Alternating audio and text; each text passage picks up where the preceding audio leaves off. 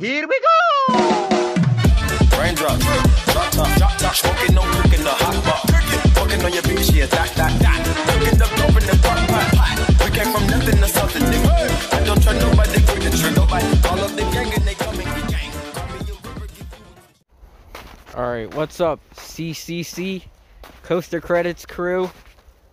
Normally, I don't do these videos until after the new year, but when I heard this ride was released, I I just had to. I pooped like it was crazy, guys. Snowmobile: The Return. Could it be the greatest ride ever created? It has a longer ride duration than the original snowmobile. It doesn't have track restraints like Son of Snowmobile. This might be the greatest ride ever made.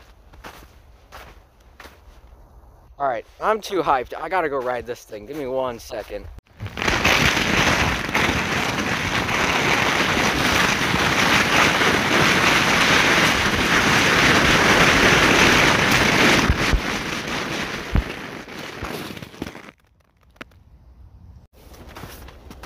Guys, that ride sucked.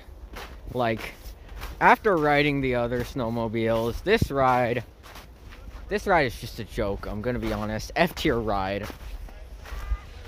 This ride might, might be worse than Steel Vengeance. Like, that's how bad this ride is. I, I can't believe I'm saying that. How, maybe that's a hot take. Maybe, yeah, maybe that's a hot take. But it's definitely down there. So, yeah. Um, I don't recommend this ride. You should never ride it. It's complete trash and it's also garbage. Anyway, guys, make sure to like and comment and subscribe to Dirt Businessman. Otherwise, you ain't black.